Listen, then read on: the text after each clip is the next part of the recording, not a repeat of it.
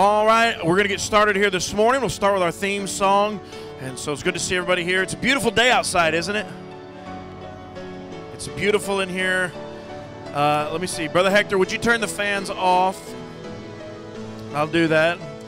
Uh, once I get once I get started singing and preaching, we'll turn them back on because it'll be hot. Perfect weather. It's a great day. And so let's worship the Lord. And uh, we'll start here this, with our theme song this morning. Good to see everybody here. If you can, stand with us and sing it out. Here we go, all together on the first. You gave me breath, you gave me love. My life's an image of your Son. A story of grace I can't contain. Echoed in song of praise. So I will give and sacrifice the gifts you gave to lift you high. My only hope and one desire is this one thing. For your glory I live. For your glory I sing.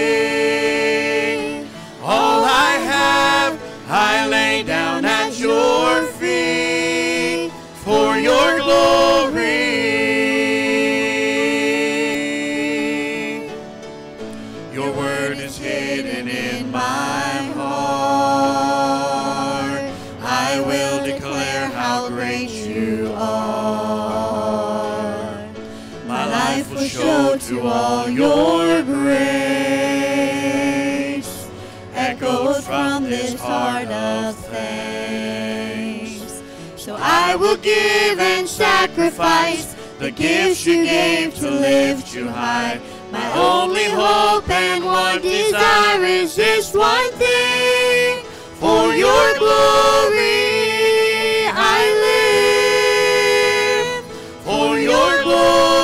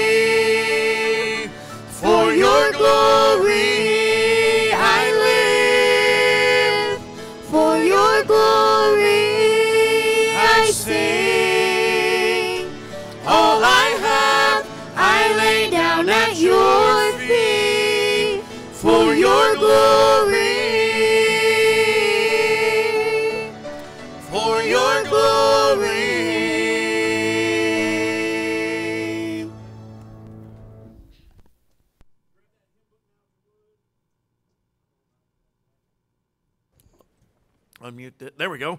Uh, grab that hymn book, hymn number 256. Thanks, Brother JR. 256. I will praise him. And let's do that this morning. Good to see everybody here smiling, excited to be in church. Amen. 256. I will praise him. All four verses. Think about the Lord as we sing.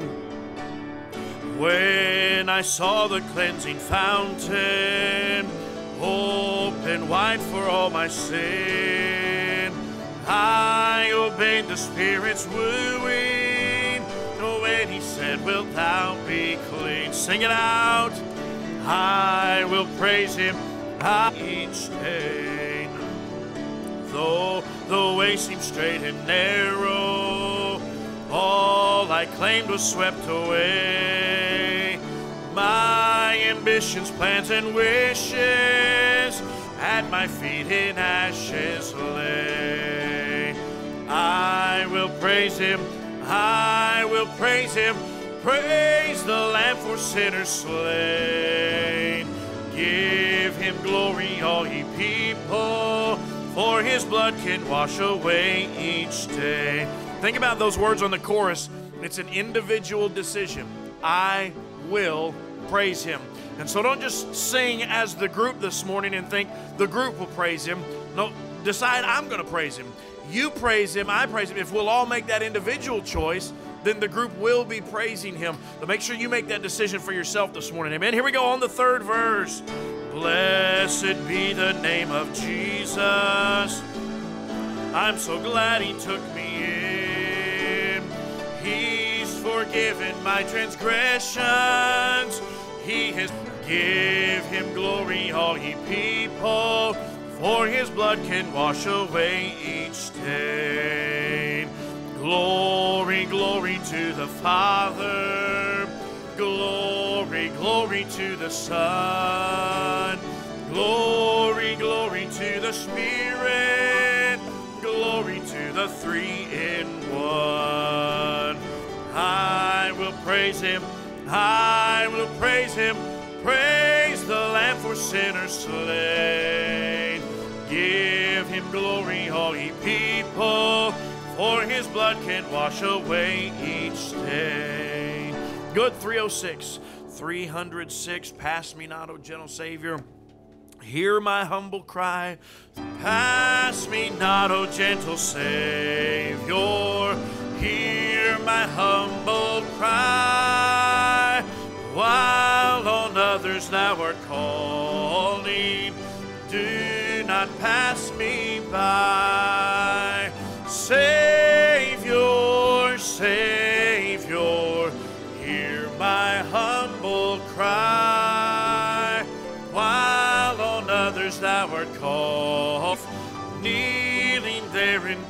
contrition, help my unbelief. Savior, Savior, hear my humble cry. While on others thou art calling, do not pass me by. Trusting, save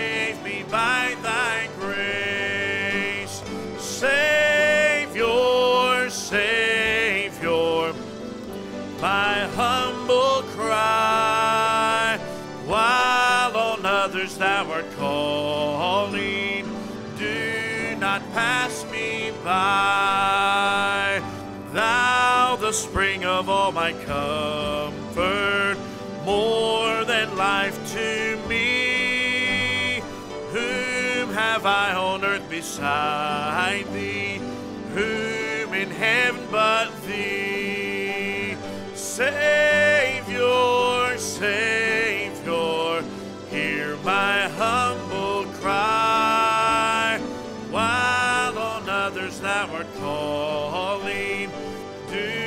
Not pass me by. Good start. Let's do God loves you and I love you, and that's the way it should be. We need a few more smiles in here. Some of you are smiling great, and uh, yeah, we just need a few more. Amen. Do you have it? We'll just sing it a cappella. It'll be fine. Here we go. God loves you and I love you, and that's the way it should be. Come on, sing it out. God loves you and I love you, and that's the way it should be. God loves you and I love you, and that's the way it should be. God loves you and I love you, and that's the way it should be. Almost got Dale. He smiled at the last second. The last second. But you know who wasn't? Amelia. So we're going to sing to Amelia. I thought about asking you to come up here and turn around and face everybody, but I won't do that to you. I don't want to embarrass you too bad. Just a little bit, all right? Let's sing it to Amelia. Here we go. God loves you and I love you, and that's the way it should be.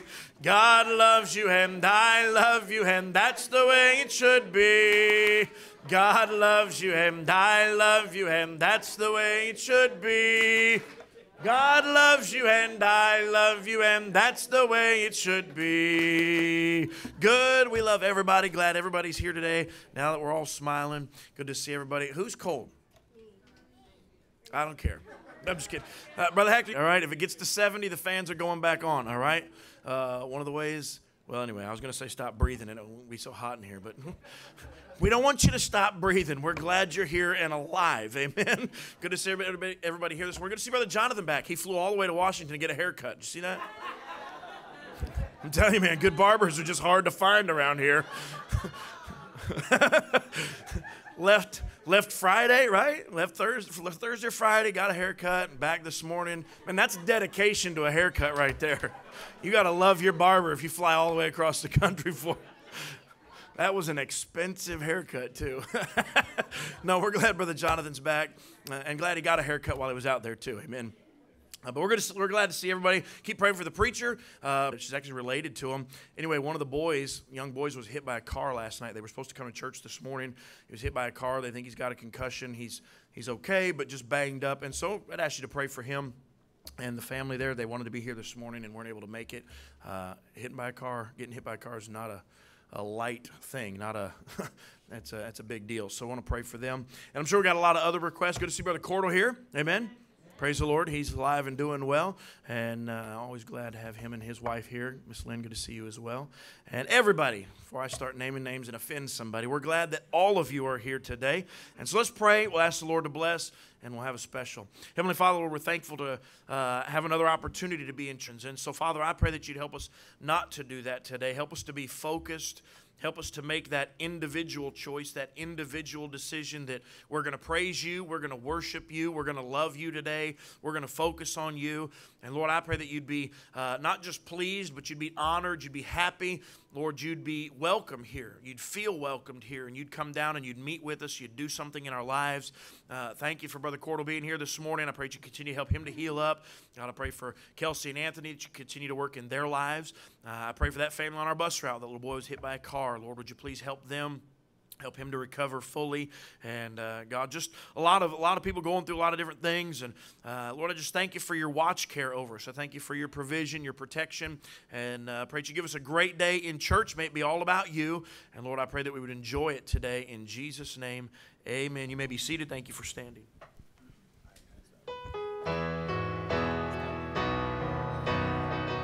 Hear a mighty shout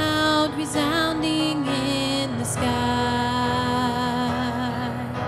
In power and great glory, King Jesus will appear and take his children home to paradise.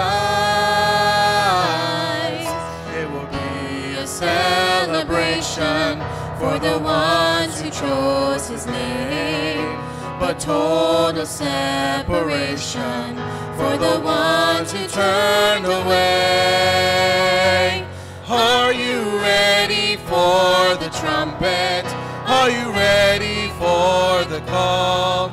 Soon the angels will assemble to usher in the Son of God. Will he come and find you faithful? Will he know your name at all? Every moment brings us closer. Are you ready for the call? The Bible speaks of two men who were standing in the field where one is taken and one is left behind. Two women in the kitchen one goes and one remains. So get your house in order while there's time. In the cross there is salvation. Through the blood there is a way to secure your destination on that resurrection day. Are you ready for the trumpet? Are you ready for the call? Soon the angels will assemble to usher in the Son of God. Will he come and find you faithful? Will he know your name at all? Every moment brings us closer.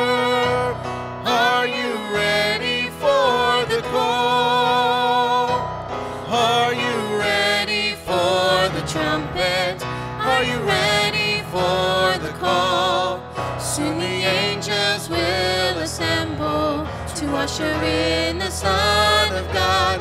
Will he come and find you faithful? Will he know your name at all? Every moment brings us closer. Are you ready for the call? Will he come and find you faithful? Will he know your name at all? Every moment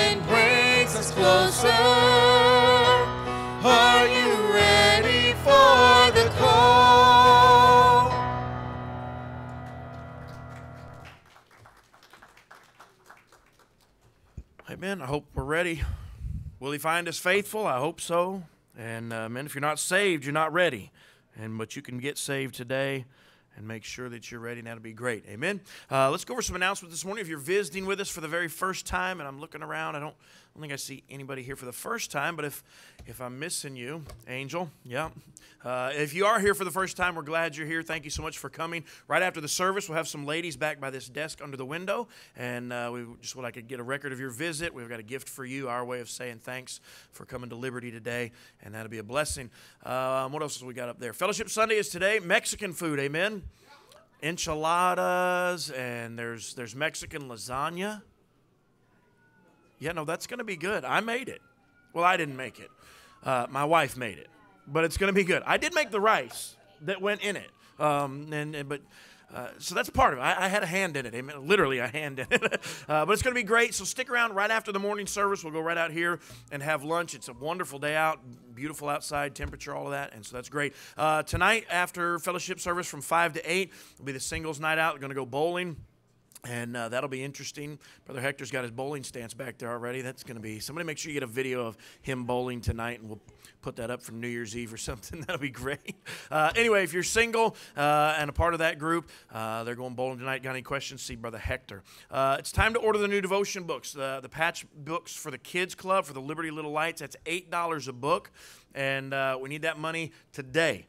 All right, and so you need to put that in if you want to put it on your envelope uh, and mark it in there, or give it to Miss Kara. However, uh, that'd be fine. But we need that today. She's ordering them tomorrow. So if you don't pay for a book, you don't get a book. Is that correct? Yes.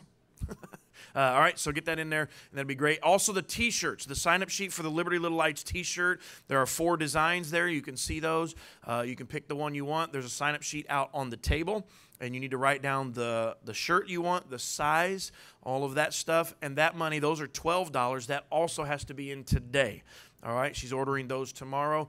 And so if that money's not in, uh, your kids just won't get the T-shirt, and so anyway, that needs to be in today. If you have any questions, come see us about that. But the sign-up sheet's out there, so make sure. I've seen a lot of people; their names are already on it. Make sure you put that, uh, mark that on your envelope as well, appropriately if you're going to do it that way, and that'll be great. Cherry Crest activity, that's next Saturday, or this coming Saturday rather, October the 12th. Uh, leaving here at 3.30, that's $10 a person. If you'll just bring the money to, folks have been asking about paying for that. If you'll just bring that with you on Sunday, uh, the church is going to uh, we're going to pay together collectively, so the church is going to take care of that. But if you'll just bring the money, that'd make it easier for us. Bring it on Saturday. Uh, that'd be great. If you're going to go, make sure your sign up. Your name is on the list out there. Two and under. Children two and under are free.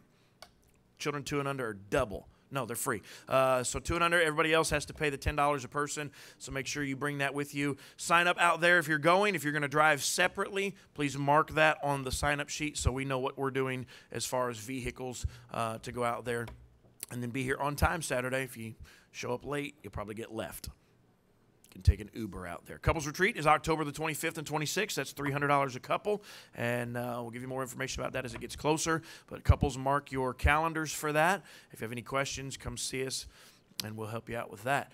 Uh, scripture reading this morning is Miss Lisa, and we are in Luke chapter 23.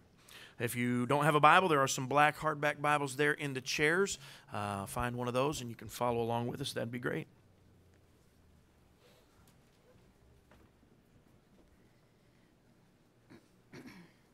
Luke 23, verse 27.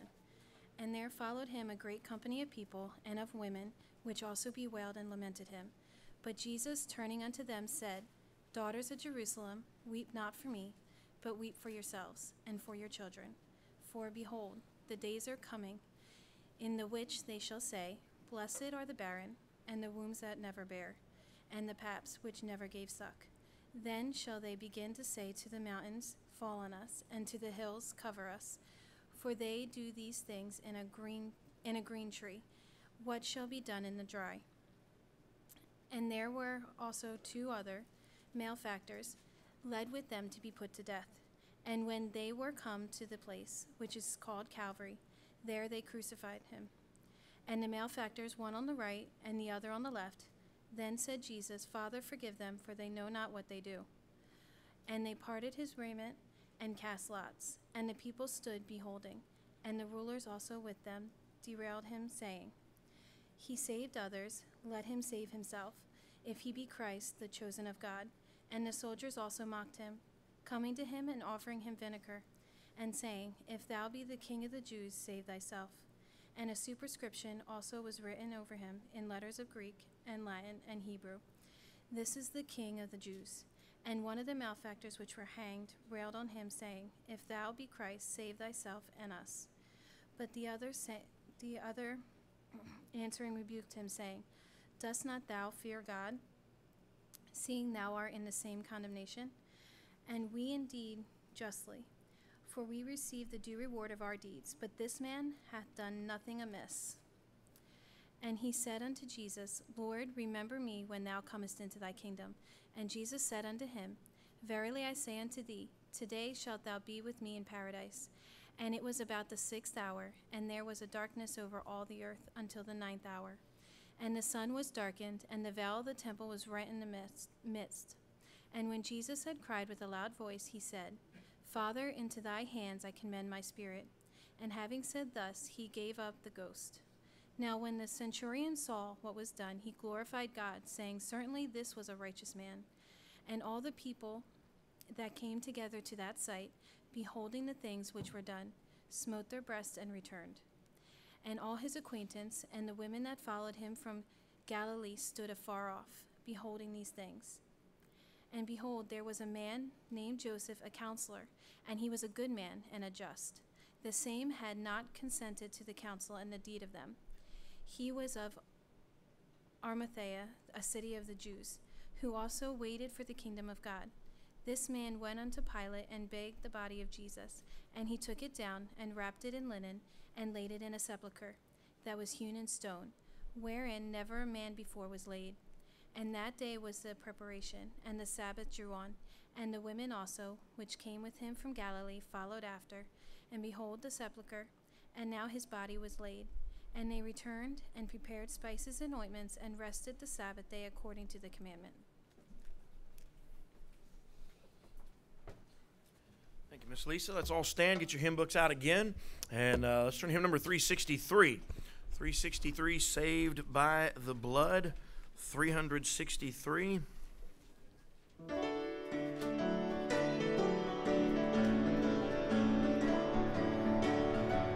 Here we go on the first verse. Saved by the blood of the crucified one, now ransomed from sin and a new work begun. Sing praise to the Father and praise to the Son. By the blood of the crucified one, save, save.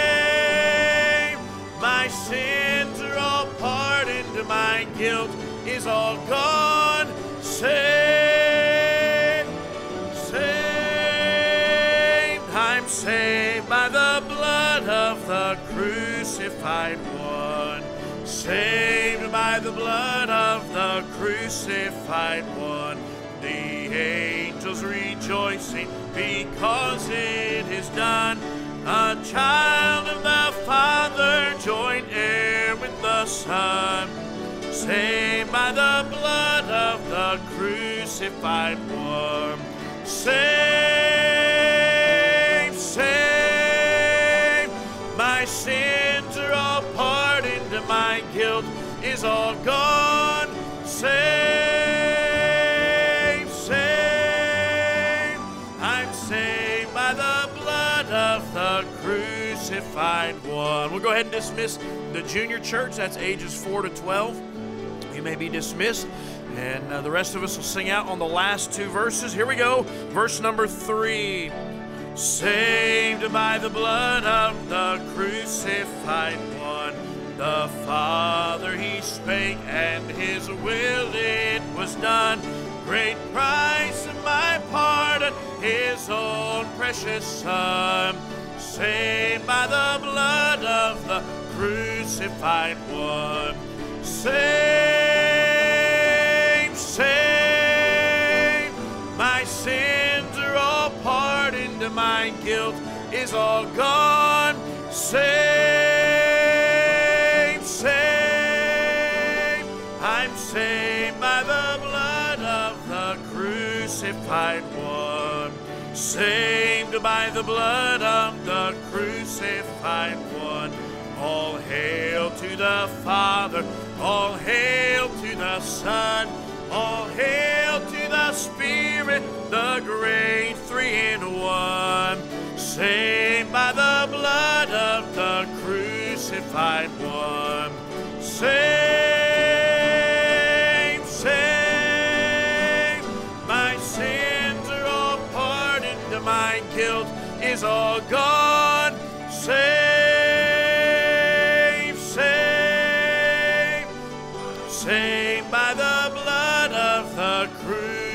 crucified one.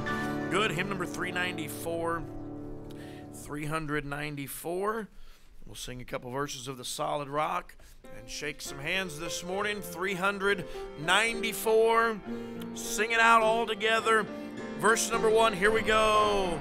My hope is built on nothing less than Jesus' blood and righteousness. I dare not trust the sweetest frame, but wholly lean on Jesus' name.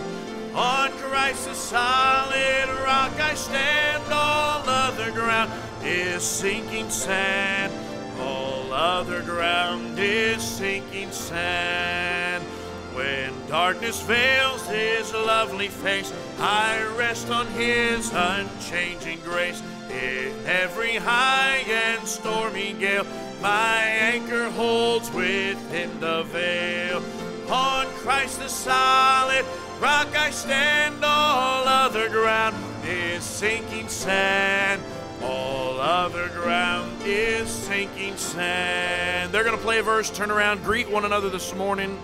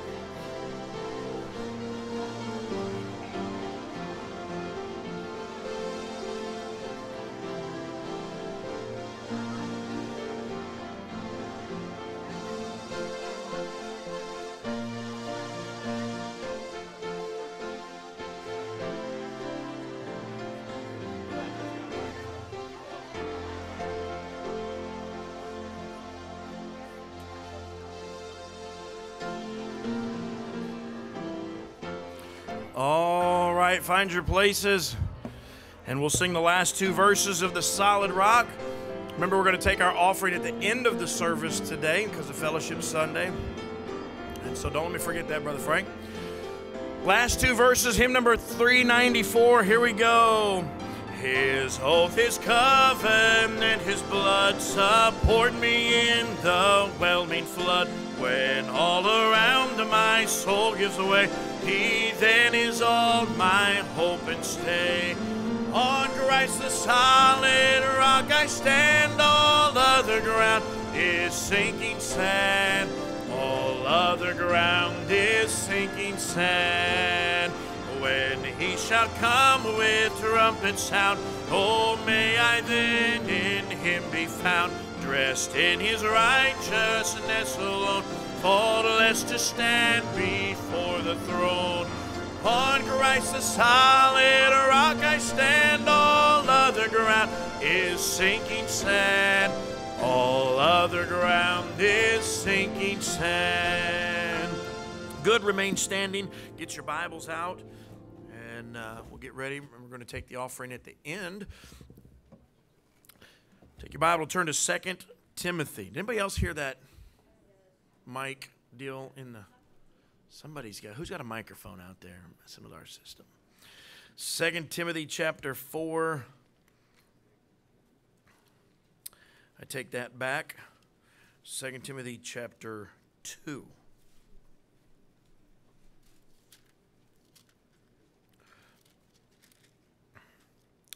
Second Timothy chapter 2. And we're going to preach on this thought this morning vessels of honor. Vessels of honor. We'll read a few verses and we'll have another song and then get into the message this morning. 2 Timothy chapter 2, beginning reading, begin reading in verse number 20. The Bible says, But in a great house there are not only vessels of gold and of silver, but also of wood and of earth, and some to honor, and some to dishonor. If a man therefore purge himself from these, he shall be a vessel unto honor, sanctified and meet for the master's use, and prepared unto every good work. Flee also youthful lusts, but follow after, or I'm sorry, but follow righteousness, faith, charity, peace with them that call on the Lord out of a pure heart. Vessels of honor, uh, we're all vessels this morning. Uh, when you got saved, the Holy Spirit came to live inside you, and you are now a vessel. You're either a vessel of honor or a vessel of dishonor. We're going to talk about that and find out how we can be vessels of honor here today. Let's pray. We'll have Miss Alexis come sing and uh, then get into the message this morning. My Father, I do pray and thank you again this morning for just a great day to be in church. Thank you for a great service so far. Thank you for the good Sunday school hour. And Lord, now as we come down to the preaching, Lord, I pray that you would help help all of us to get out of your way.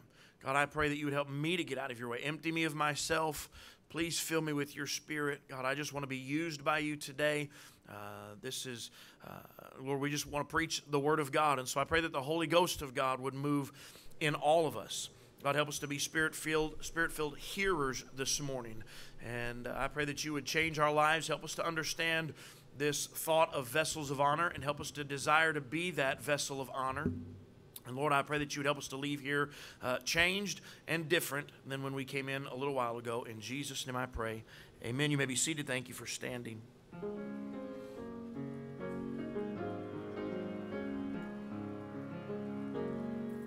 He created the universe, hung every star in space. He made the rushing rivers and put each mountain in place, everything in nature is the work of His hand. When this I consider, there's one thing I understand. Some things only God can do. Now, man may think that he has done many great things. When you list all his accomplishments, a sense of pride it brings. But when you compare man's work to God's, you won't notice them at all. Because when compared to God, man's power is so small. There are things that only God can do. Wonder working miracles that are bigger than you. And so, no matter what you're facing, no matter what you seek, though it seems hopeless to you, know that God can see you through. Yes, there are things that only God can do. Only God can bring a shattered back together again. Only God can heal a loved one when no doctor can. And only God can take a ruined life and make it completely new. So no matter what you're facing, no, there's nothing God can't do. There that only God can do. Wonder working miracles that are bigger than you. And so, no matter what you're facing, no matter what you seek, though it seems hopeless to you, know that God can see you through. Yes, there are things that only God can do. His power has not changed, His strength is still the same. There's wonder working power when you call upon His name. So even if it seems impossible and all hope has been lost, you can find the victory at the foot of the cross.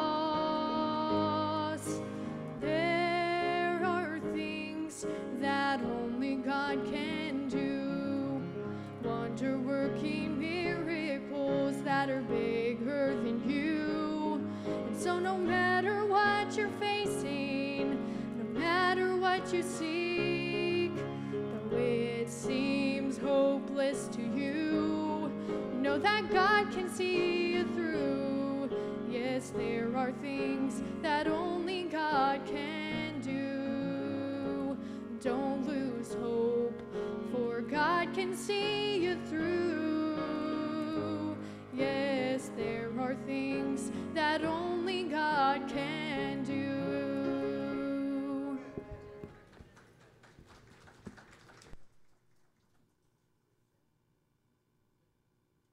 Thank God for the things that only He can do. Amen. Good to see Miss Charlie here this morning. Wouldn't embarrass her, but we got to see her the other night. She was in the hospital for a few days, and uh, we're glad that she is home and doing well. And uh, of course, the doctors kind of messed some things up, didn't they? They had you on the wrong medication for all these years, and found out there was that wasn't the problem. And so, thank God they got that straightened out. But it's good to see her here this morning, and uh, thankful for that. Vessels of honor. Uh, a vessel is this. If you look up the dictionary definition, a vessel is a utensil for holding liquids or anything else, etc. Uh, and that's exactly what the dictionary said. It's a utensil for holding liquids. I have many vessels in my house. Brother Guido has made statements about this uh, or along this lines before. There's there's a few different places you can get water in your house: the sink, the refrigerator, the toilet. There's water in that vessel. And sometimes it's clean water, but I'm not getting a drink from there. Right? And so there's lots of different vessels Some are vessels unto honor, others are vessels unto dishonor. Everybody with me? okay. Uh, well, I brought some vessels here this morning. Uh, if you know me, you know I like coffee. And so I have this is a Starbucks coffee cup. Actually, when I first got into drinking coffee, this was the very first coffee mug that I bought. Now, we had coffee cups in the house, but I wanted something just specifically for coffee. And this was the first one I bought. Now it's chipped here on the bottom, and it's got a chip here. You can't drink out of that side, or you cut your lip. And uh, but that's one of my favorite cups. One of my favorite vessels for coffee. I have another one down here. Uh, this one my wife got me. Uh, and of course, I like, I'm from Illinois, and I like the Fighting Illini, and so that's kind of my college team. They stink at just about everything they do, but I like them. And I like the colors. And so, anyway, this is the one, this is the cup that I use uh, when I come over here. I'll bring a cup of coffee with me and put it in the microwave if I don't get it all drunk before it gets cold. And so, I like this vessel. And so, I have that vessel there. I was going to set these up here, but I'm afraid they'll fall off, and I'm more worried about the floor than I am my vessels. So, uh, I, my wife also got me this one. Uh, this is also a, a Starbucks cup, and uh, it's can't go in a microwave with that one. And uh, really, I don't drink coffee out of this one very often because you can't reheat it. And so occasionally, my wife she likes loose leaf tea, and she'll make hot tea, and so I'll drink tea out of this vessel. You say, "Are you a tea drinker?" Occasionally, I know that's cute. Miss, thanks, Miss Kara. Appreciate that. occasionally, I do like a cup of hot tea if you don't, if you think that you want to make fun of me, that's fine. I'll set that one up there. I like that one. Brother Frank, what are you doing back there?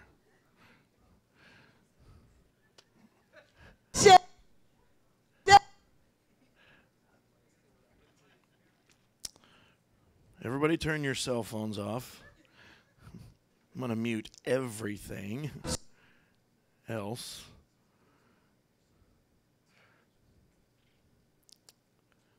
Just give me a second here. All right. We'll see if that does anything. If it doesn't work, we'll just turn the whole sound system off and I'll yell. All right. Vessels. Oh, I got some more vessels down here. I got this one from my mother in law. It's a little coffee shop in Ark City, and uh, I like this cup. I use this occasionally.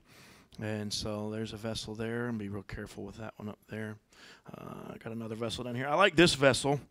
Now, I don't like this restaurant very much. How many of you know what Waffle House is? If you're from the South or have been in the South, you know Waffle House. It is the greasiest of greasy spoons. You walk in there and it's like being in a skating rink. I mean, it's just you slide to your table and uh, it's the definition of greasy spoon. And uh, but I like this coffee mug a lot. The only thing I don't like about it is I can only get two fingers in the handle there. And uh, but you know, I'm telling you that makes a difference be able to get a, you know, all four fingers in there. You, can, you got better control over that. You better better coffee flow. I'm just telling you, there's an art to it. There's a science to it. And then I got. I also like Black Rifle coffee. Uh, it's very good stuff too. So these are some vessels that I have, and these are these are this actually is my go-to vessel for coffee. I use this one just about every day. I'm going to talk about something here in a second. I unfortunately found this not in the designated coffee place for this cup, but in the cabinet with all the rest of the lower vessels. I'm not sure which one of my lower children were a vessel of dishonor when they put this vessel of honor in the cabinet of dishonor. but anyway, this is my go to coffee cup. When that one is being cleaned, which isn't very often, I use this one. Well, you know, I, I like to use it. There's, listen, if you're a coffee drinker, you don't wash your coffee cup very often because it gets, it's like a cast iron skillet. Your cups get seasoned. And so when you clean that and soap and water that, then it's like starting all over and it tastes like ceramic. And so, you know, you don't clean it very often. Absolutely. So on the on the rare occasion that I I allow it to be cleaned, I'll use this one. And then if they're both MIA, I'll use this one. This is my work cup. This is my teacup. You know, pinky up for my hot tea. Uh, this is my work coffee cup. This one has been retired, but I'm not getting rid of it because it's it was my first. It was my it was my it's this one's special, so I'm not getting rid of it. All right, so we've got vessels here. Some vessels unto honor. Now, I, if you've been in my house, I have a shelf on the wall in the kitchen that has coffee cups on it, and that's where these four all sit with a few others that my wife will use. My wife has a favorite coffee cup that she uses.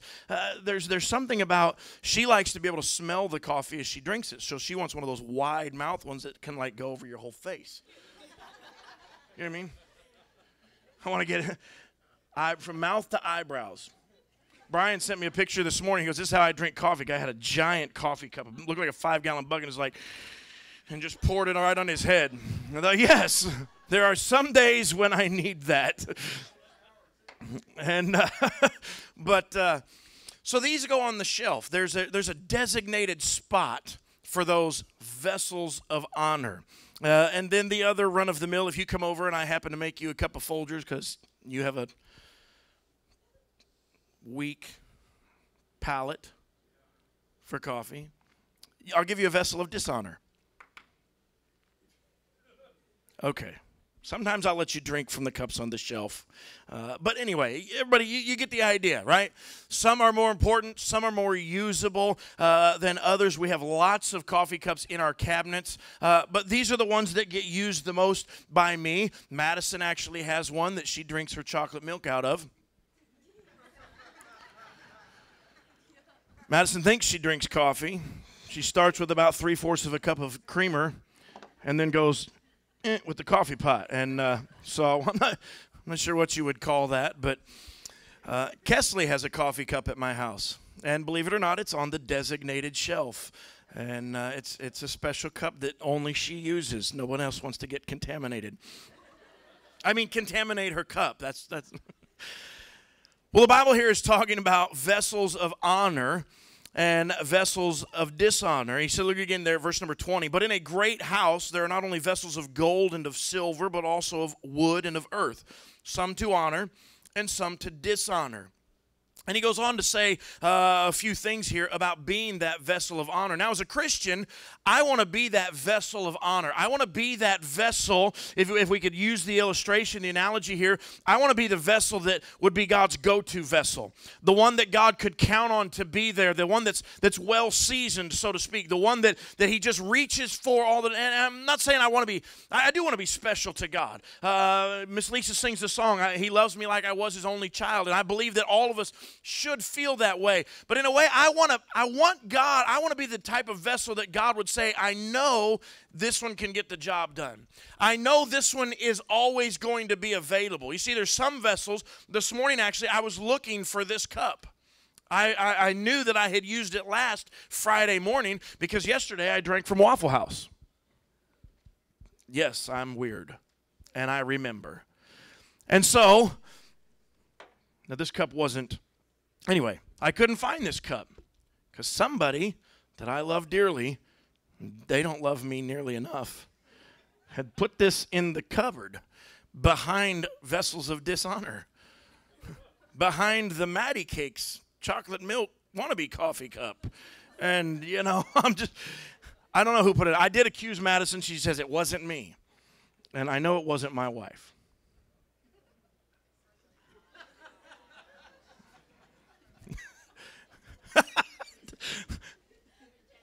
It was Jenna. It had to have been Jenna. She doesn't have a clue yet. And so, anyway, I'm having too much fun with this. Let's get spiritual, right?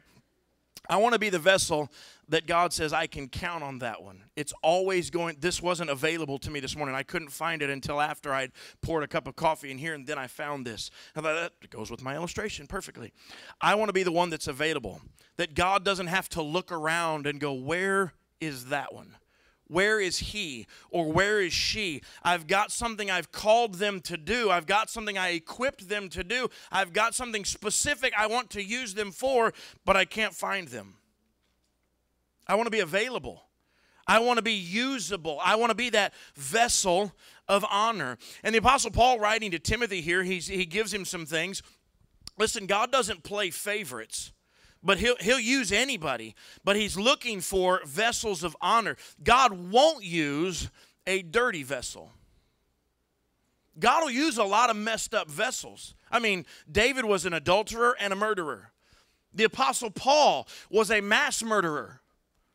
And God still used them. Abraham was a liar. He, he came from a, a country where a, he worshiped false gods. God will use a lot of broken, messed up people. But just like you won't use a dirty vessel, neither will God.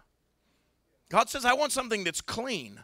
I want something that's pure. I want some, I can, God says, I can fix the chips and the cracks. I can fix the broken spots. I can use it even though it looks scarred up and chipped up. I can still use that. But if it's dirty, I can't do anything with it.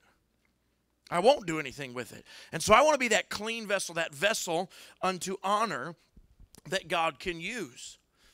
Now, here's what this means the word honor means this it means valuable. It means esteemed. It, it has dignity to it. It means it's, it's precious. This one was a gift. It means honestly more to me than this one does. I like this cup.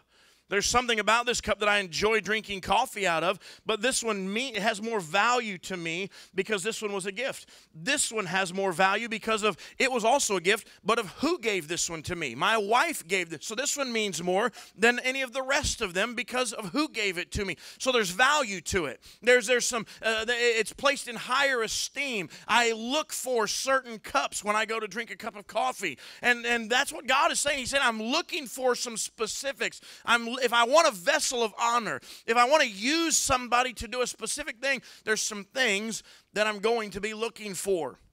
And he gives them to us starting verse number 21. 21 it says this If a man therefore, very often, and, and that's true. It, it, it, Brother Cordell, you, you're a coffee drinker. He understands. If you drink coffee much, you understand. Just rinse it out and use it the next morning. Now, obviously, if there's mold growing in it, you, you got a problem. You don't drink enough coffee. You know, I don't. I, I drink coffee enough. There, there's not enough time for mold to go and grow in here, and so you just rinse it out a little bit, pour a new cup. Uh, but honestly, what we're looking, God's looking for, He says, purge Himself. God wants you to be a clean vessel. It means to be cleaned thoroughly. Uh, when we were teaching my girls to wash dishes, they would often uh, wash them, say they're done. We'd find dishes in the cabinet that still had spaghetti from three days ago on it. It's not purged right? It's not cleansed thoroughly. Some dishwashers do not do a good job. I've seen the commercials for these. You can put this, you can have baked on lasagna on this pan, put it right in the dishwasher, and it'll come right off. Anybody have a dishwasher like that? That's what I thought. Lies. Those things don't work like that. Maybe if you had a sandblaster inside your dishwasher before, then that lasagna might come off of there. Uh, but no, no, you gotta you gotta pre-wash the dishes. You gotta clean them before you clean them. God says, I want a clean vessel. It means to cleanse thoroughly, to cleanse out. Listen, too many Christians, honestly, we're just too dirty for God to use us. Just too dirty. James chapter 1, verse number 27. Take your Bible and flip over there. We're coming back to Timothy. But James chapter 1, verse number 27.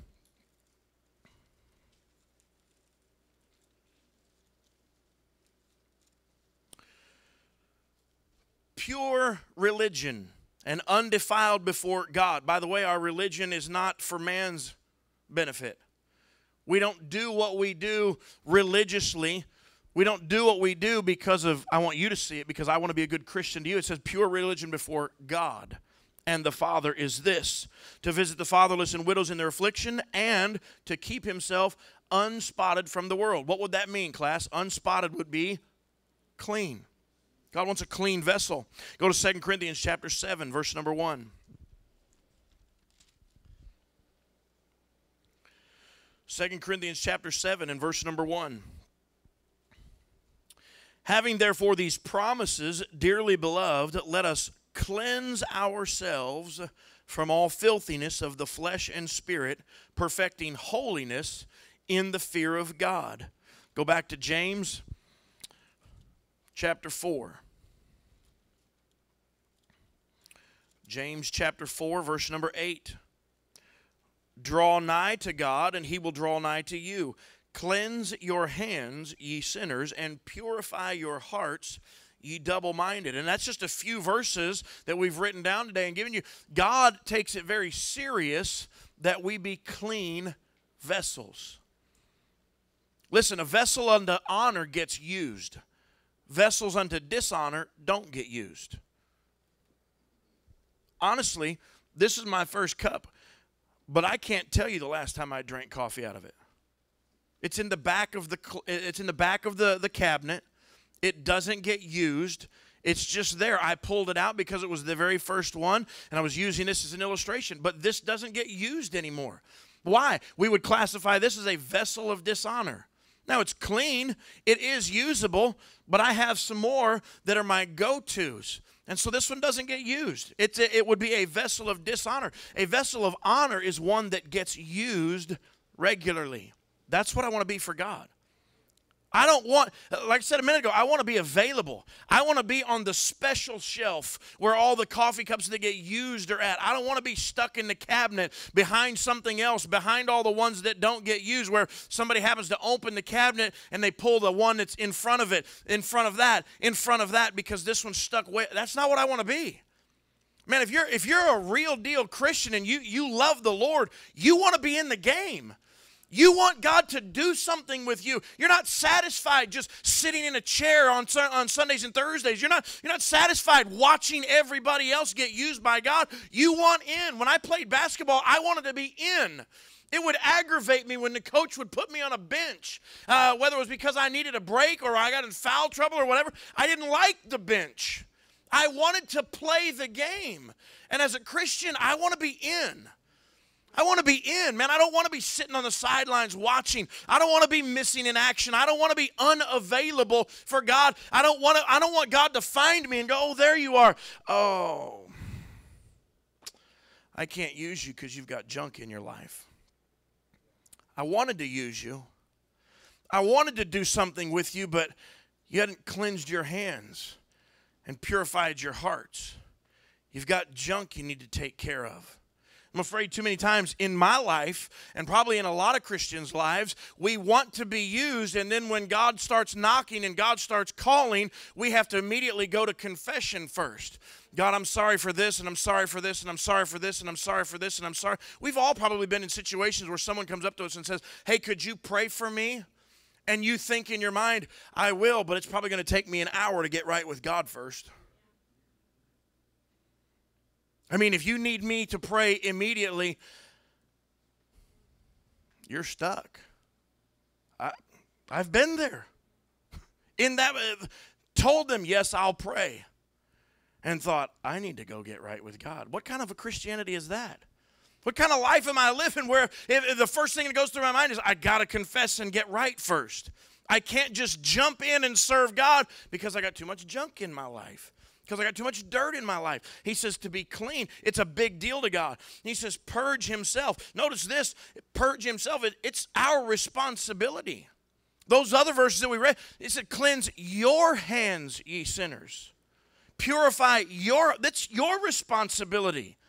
It's your job to clean yourself up. It's your job to stay clean. Yes, I know the Holy Spirit is the one that cleanses us through the washing of the Word, and I know it's God that forgives sins, but those verses all say this is part, me being clean as a Christian is my responsibility. That means I have to look at some of the things I'm doing or not doing and going, this is my choice. That's why I said this morning in that song, I will praise Him.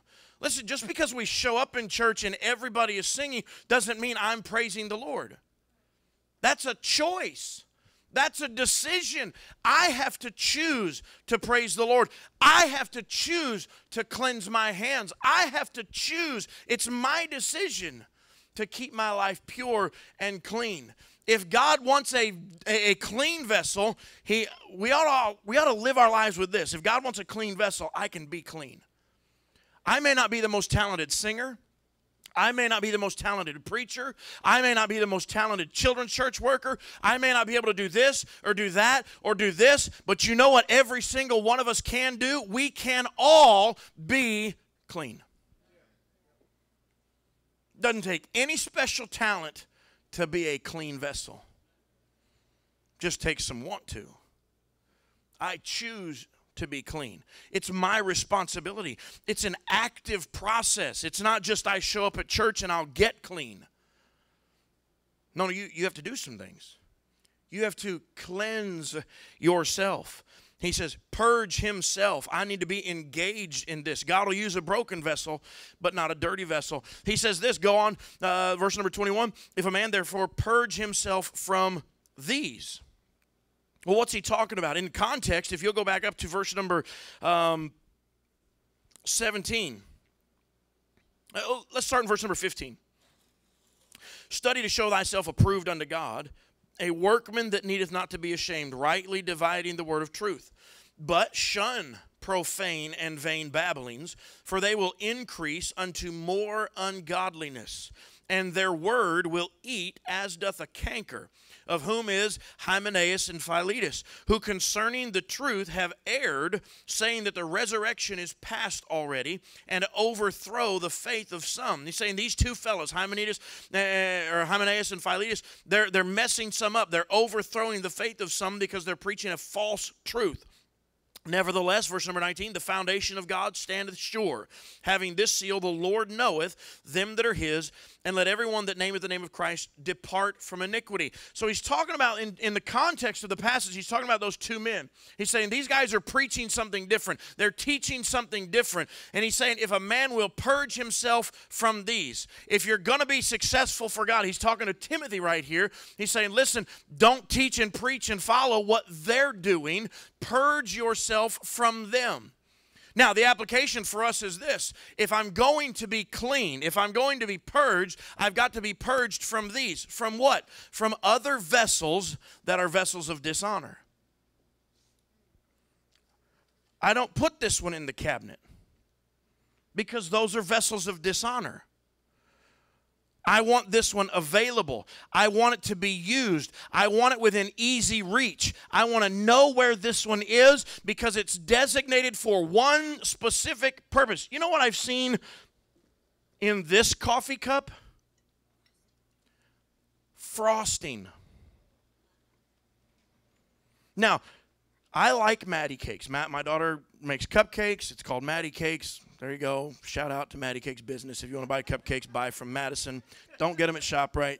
ShopRite stinks. All right? But anyway, they'll make batches and batches and batches of cupcakes, and, and they use Ziploc bags to pipe the frosting out. And I have come home and found this coffee cup, as well as a few others, in the cabinet with Ziploc bags with the tips cut off stuck down in here. And I'll look in there, I'll pull that bag out, and there's like frosting leaked all over the bottom of the cup. It's hard and it's crusty, and sometimes it gets on the outside. And I look at that I'm going, that's a shame. I'm getting a cup of coffee. You see, the vessel, it doesn't bother me anymore. That's a vessel of dishonor. You can put juice in it, you can put milk in it, you can put frosting in it, you can put mashed potatoes and gravy in it. I don't care. But the only thing that goes in this cup is coffee. If I ever come home and find frosting in this cup, I will throw Maddie cakes in the trash. If I ever find some other liquid in this cup, I will pour it down the drain. I don't care if it's liquid gold. Okay, I might keep it if it's liquid gold. Which is butter, by the way. We all. Nothing goes in this cup but coffee. Nobody uses this cup but me. This isn't one that Jason Jenna come and get and put milk in it or juice or uh, no. This is my cup. This cup has one designated purpose. It is for good coffee. It's not for Maxwell House. It's not for Bustelo. Sorry. Just it's just not. It's for my coffee. If I invite you to my house and you pick up this coffee cup, I will ask you to leave. you get the idea? That cup has a specific purpose. God says, I've got a job for you, but I want you to be clean. And this cup, because it has a specific purpose, it is separated from those. That cup doesn't hang out with all the rest of them. That cup doesn't go in the cupboard with the rest of them in the dark. Tracking? This cup hides in the corner in the dark. Men love, love the darkness because their deeds are evil. Hey, Christian, you better be careful hanging out with the dark. You better be hanging out, you better be careful hanging out in the cupboard where everybody else is at. Hey, I want to be used by God. I want to be available. I want to make sure I can make sure it's my job to be clean and it doesn't take any extra talent or any special ability to be clean. It's my responsibility and I can be clean, but it's also my responsibility to purge myself from these. See, these don't go together. That one's special. This is just every, you know, whatever. You say, are certain Christians more special? No, certain Christians are more clean. God doesn't look at any of us and go, You're more special than me, or you're more special than him, or you're more special than that one. But He might look at you and go, You're cleaner than that one. But that one's cleaner than this one. That one's cleaner than this one. So God has to look and go, Okay, I've got a job to do. Where's the cleanest vessel?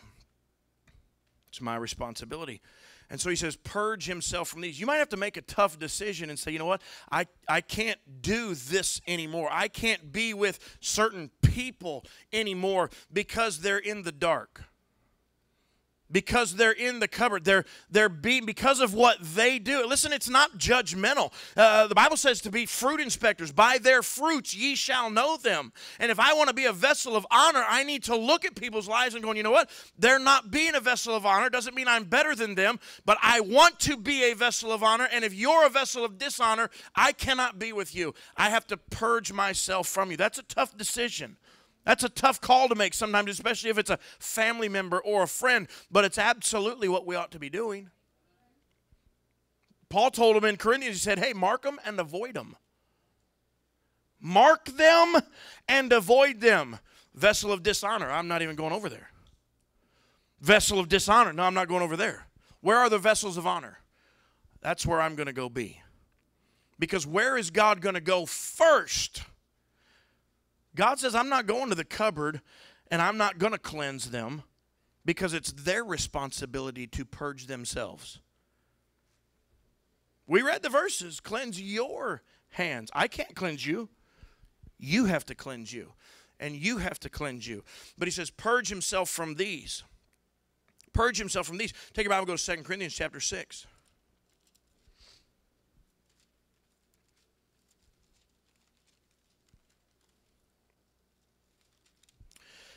2 Corinthians chapter 6. Look at verse number, let's go, let's go to verse number 14. Be not unequally yoked together with unbelievers. For what fellowship hath righteousness with unrighteousness? And what communion hath light with darkness? They, they don't.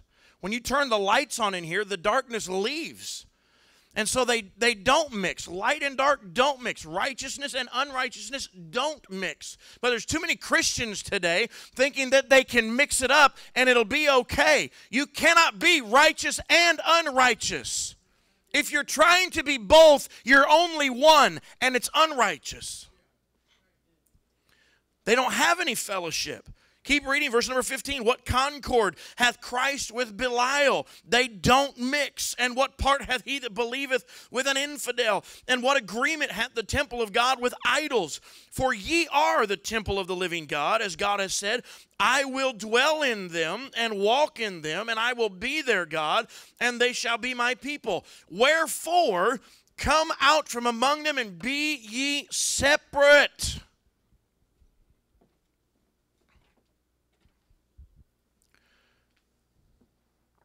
specific, designated for a specific purpose. Therefore, it is separate from the rest of them. You get it? We like to Christian we worldly Christians they like well I don't have to separate from I don't have to stop watching I don't have to stop listening I don't have to stop dressing I don't have to stop doing No that's absolutely what it means It means to stop being like them and be separate I'm going to be over here and not over here with the vessels of dishonor. Come out from among them, be separate, say the Lord, and touch not the unclean thing, and I will receive you, and will be a father unto you, and ye shall be my sons and daughters, saith the Lord Almighty. Notice those promises. God says, if you separate, I'll receive. If you don't separate, I won't receive. And that's just logical. That's what the Word of God says right there. And so we've got to purge ourselves from these. Go back to 2 Timothy. We've got to be separated. We've got to be, listen, I want to be in the game. I want to be usable. I want to be available. And that means it's my job to purge myself, to purge myself from these, from the others, from the dishonorable vessels. Keep looking at verse number 21 back in 2 Timothy chapter 2.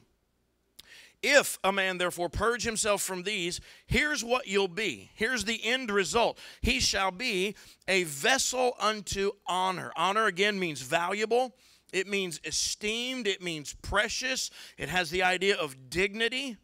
All right? He said, You'll be a vessel unto honor, then you'll be sanctified. Sanctified means this it means acknowledged or dedicated or consecrated.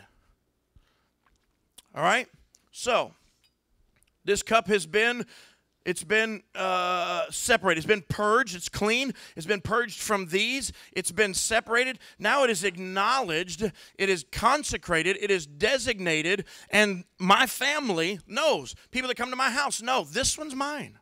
If I offer you coffee, you can you can use the Waffle House cup. You can use the Steamy Joe's. You can burn your lips on the metal one if you want. But this one is mine. Don't touch my cup. If you're a coffee drinker, you have a favorite coffee cup, right? Maybe you have a favorite recliner in your house. That's a vessel, and it holds you. And when somebody comes in your house and sits in your vessel, you stand there with your coffee cup and you go,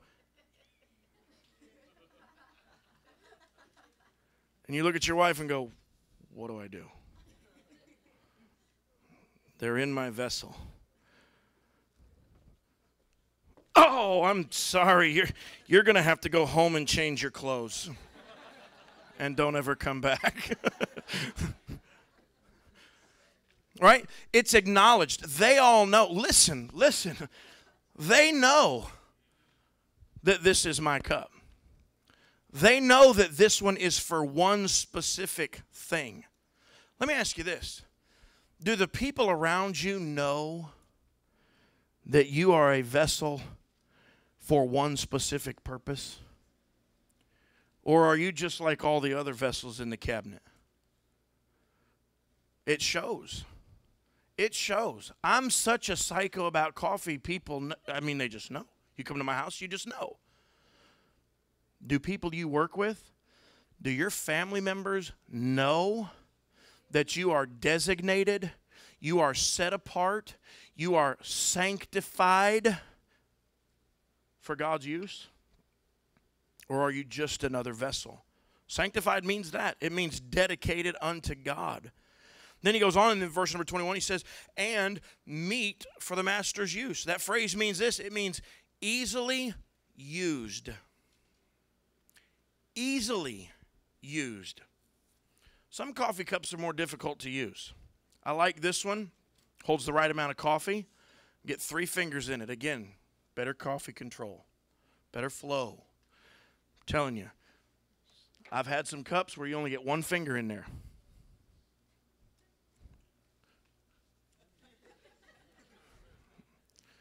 You got to hold the three underneath of there. You, you know, you put your thumb in there. And it's not. It's not necessarily easily used. Some cups are more easily used. Are you a vessel that's easily used? When God's looking for a vessel, can He go, oh, this one's clean, this one's available, this one's right here, this one's not going to buck the system, this one's not going to ask me why.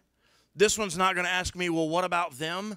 This one's not going to say, I can't do that. I'm not comfortable with that, Lord. That's outside my comfort zone. That's outside my. No, it's just easily usable. I'm here and I'm clean whenever you want me, God.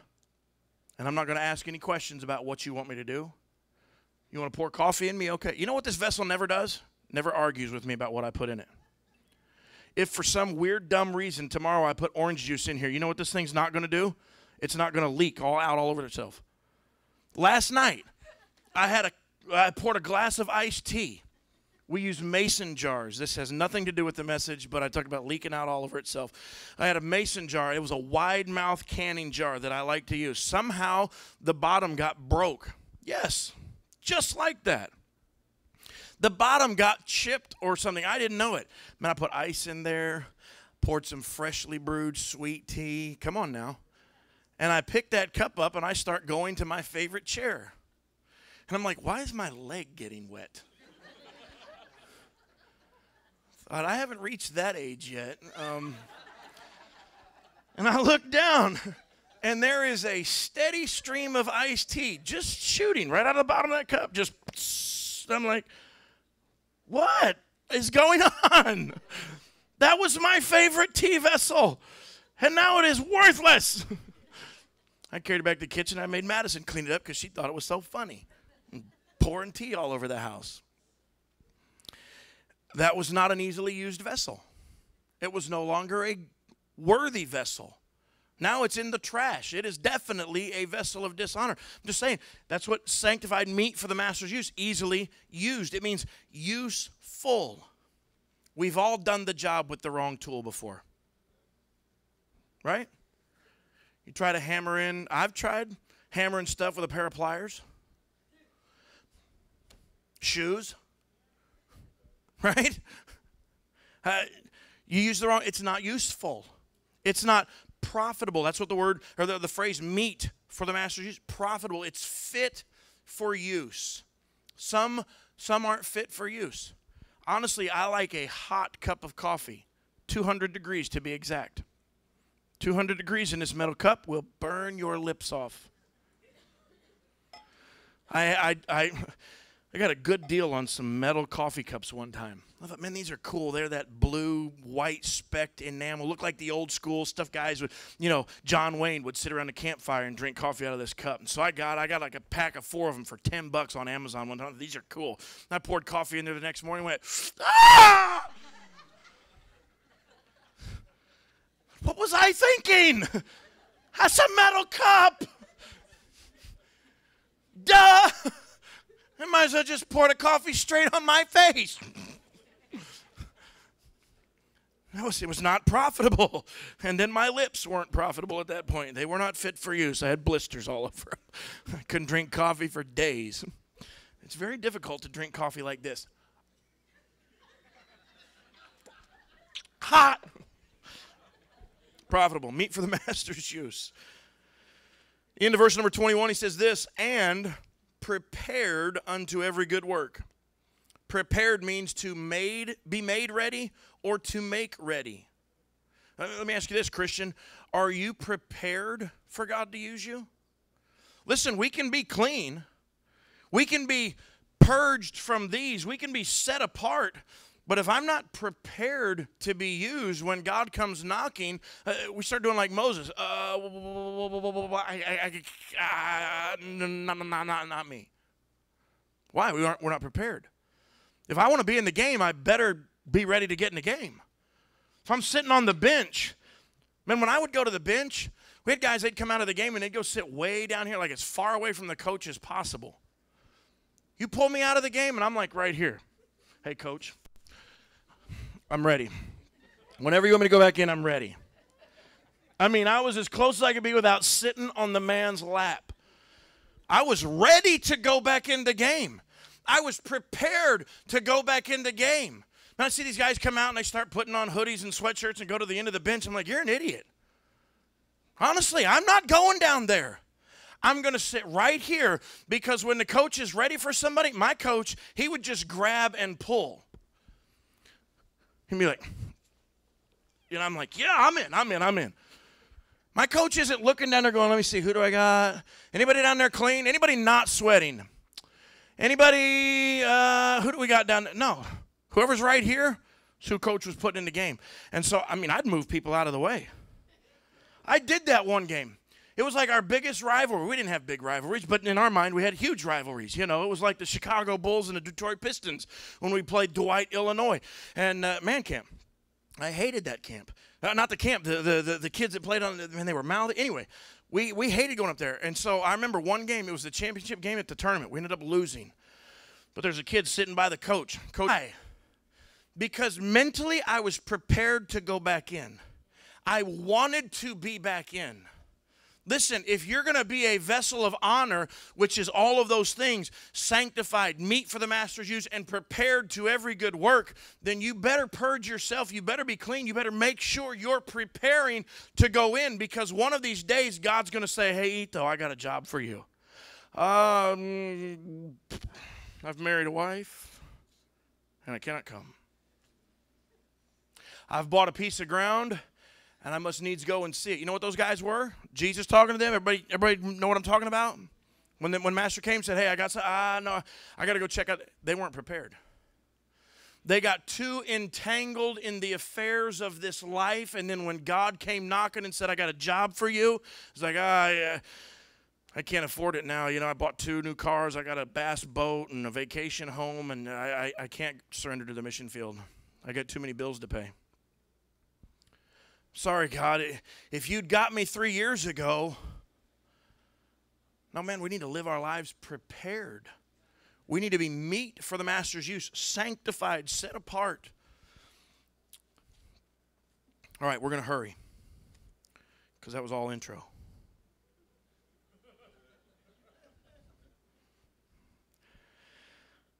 How do we become that vessel of honor? How do we get to the point where we're set apart, sanctified, purge ourselves from these. How do we get that? That was the end result, but how do we get there? It's in verse number 22, and let's hustle. Look at verse number 22, 2 Timothy chapter 2. He says, first of all, flee also youthful lusts. We've got to have a plan if we're going to be that vessel of honor. He says, number one, flee also youthful lust. Flee means to run away, it means to shun, to vanish, disappear to escape, to seek safety. Let me ask you something. If you're in a situation where you have to seek safety, what are you seeking safety from? Something that's what? Dangerous. The word flee means to seek safety. From what? He talks about youthful lust. I'll describe that in a minute but from anything that is dangerous. If you're a Christian, this world is a dangerous place. Social media is dangerous. The internet is dangerous. Hollywood is dangerous. Worldly friends are dangerous. Worldly music is dangerous. And we could just go on and on and on. There's so much out there. It is dangerous to your well being and my well being as a Christian. And I need to flee, not just go, mm, not just step back while they're having that conversation at work and go, well, I'm going to try not to laugh at that. No, flee run. That, that conversation is dangerous. Get away from it. Get away from it. Don't even stick around. Don't listen to it. Don't hear it because it's dangerous to seek safety. Flee those things. How many of us flee? Honestly, I'm not a good fleer. Well, I'm I'm not going to say those things but I don't want to make them uncomfortable. You know, I'm trying to reach them for Christ. So I don't want to make them feel uncomfortable by standing up and saying something or by leaving the room and when they ask me because I'm a Christian and I'm not going to hang around that kind of you know I don't want to offend them. Listen, I've had all those thoughts. And all of it is a cop out. When you come to a passage of scripture like this where it says flee, flat out flee get away. He says, flee youthful lusts. Youthful means juvenile, and lusts means desire for what is forbidden. The desire for what is forbidden.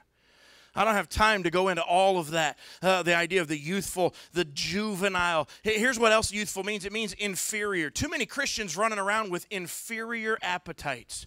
God has something far superior to everything that the world has. While we're on the illustration of coffee, let me make you a cup of coffee my way, and I promise you it'll be far superior to that garbage you get at Dunkin' Donuts, to that cup of coffee you get at McDonald's.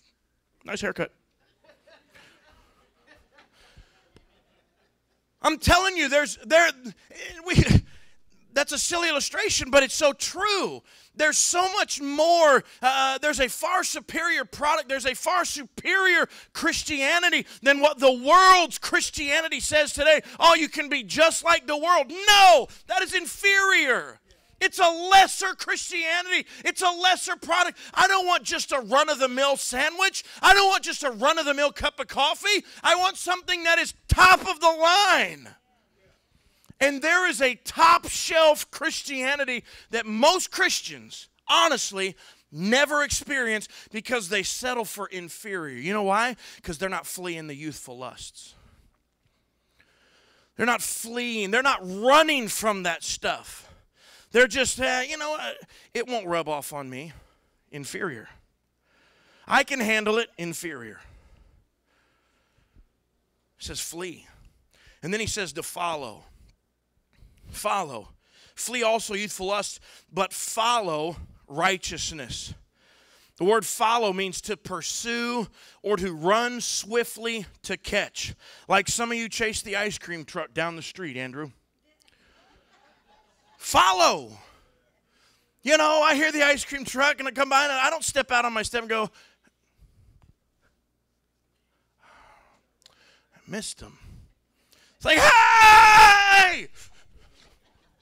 Right? That's what follow means to pursue, to run after swiftly in order to catch. It's not just that, hey, Lord, you know, I'm, I'm here you want to use me, I mean, no, no. It's that pursuing. It's I want to be used. I want to be in the game. I want to be the one that God can count on. I want to be the one that God can call on. I want to be the first one in line. It's in super church when I go, "Who wants a piece of candy?" and half of them go, "Ooh, pick me."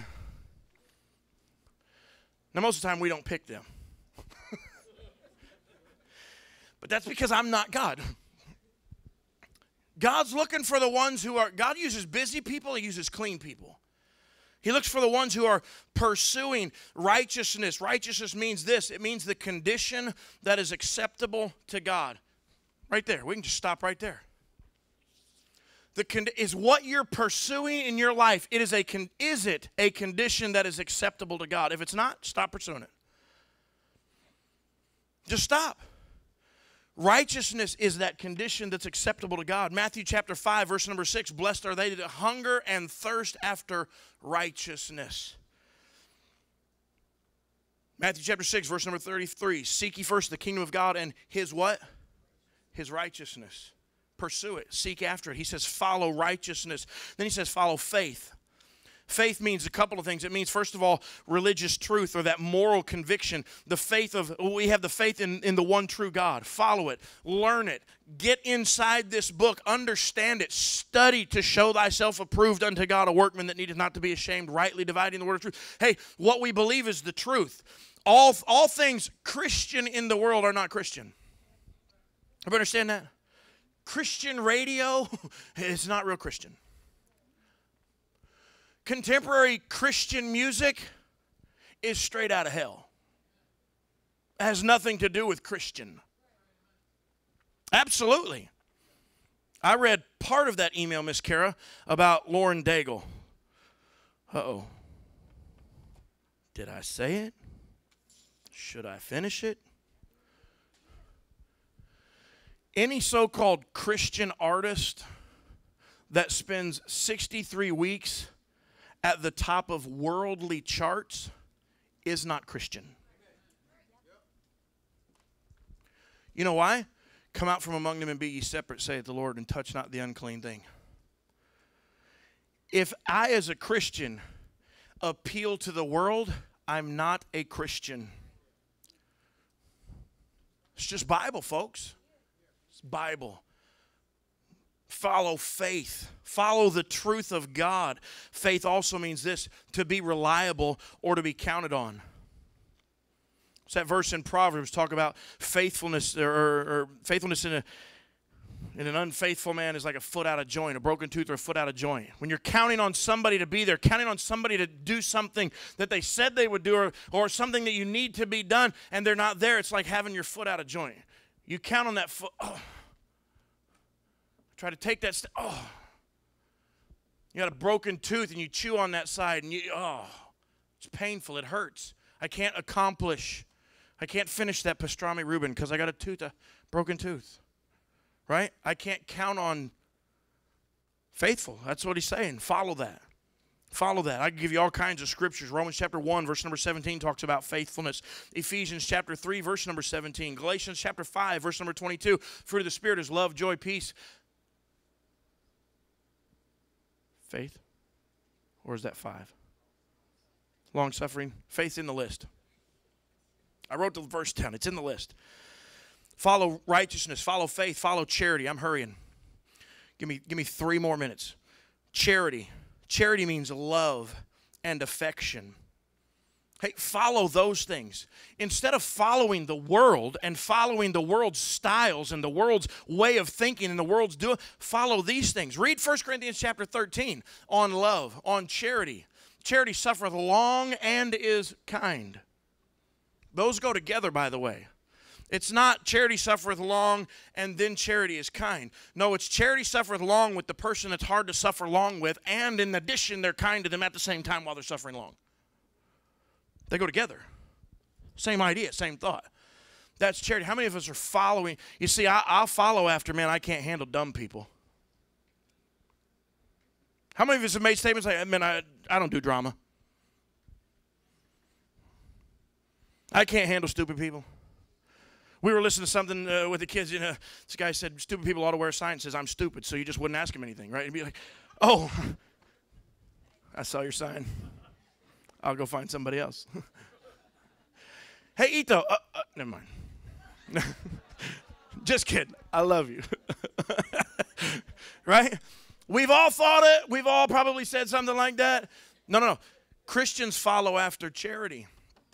Christians follow after that love, that affection, that benevolence. Hey, it's my responsibility, by the way. Bible says, as much as lieth in you, live peaceably with all men.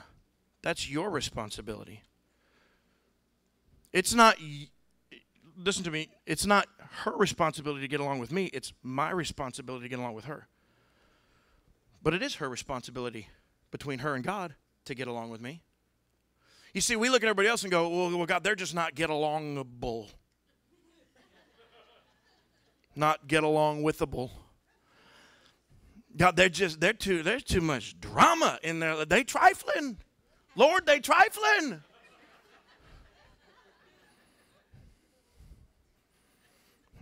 God says, No, you, you trifling. Charity. Follow after peace. Next one, follow after peace. That's quietness, it's tranquility, it's harmony and concord. It's getting along. He says, follow after those things. In the end of the verse, he says, with them, I close my Bible. What's the end of the verse say? With them that do it out of a pure heart. Exactly. With them that call on the Lord out of a pure heart. Where's my cup? I'm done. Purge themselves from these. I'm going to get away from these. These don't flee the youthful lusts. These, these settle for inferior products like frosting. They're inferior. These want the superior.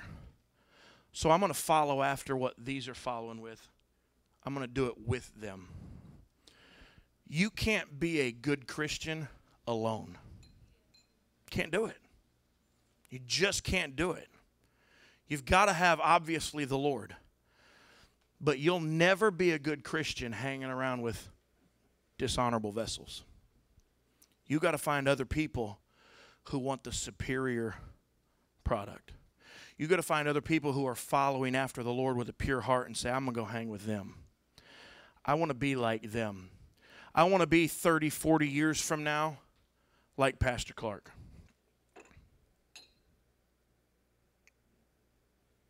I want to be where Brother Tony's at. I want to be where Pastor Lou Baldwin's at.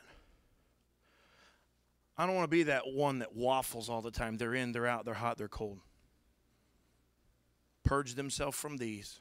Flee the youthful lusts. Follow after. And then we'll be that vessel of honor. So, what are you today? A vessel of honor or vessel of dishonor? Heads bowed, eyes closed. Heads are bowed, eyes are closed.